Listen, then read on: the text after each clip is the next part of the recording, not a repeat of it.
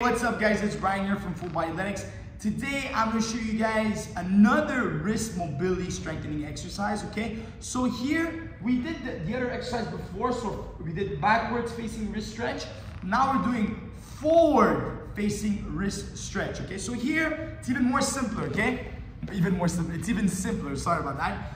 We're gonna apply the hands on the floor, okay? Put some pressure here. What I want you guys to do, same thing as you did before, Put every finger, every, all the palm on the floor. We're gonna go forward and back.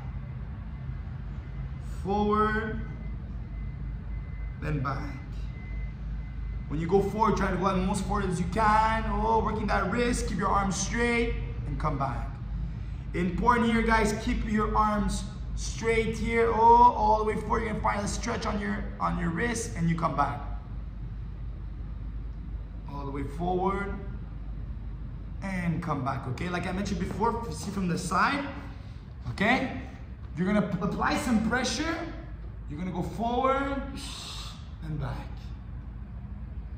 Forward and back. Try it for 10 reps. Let me know what you think. Have yourselves a great day. Be good.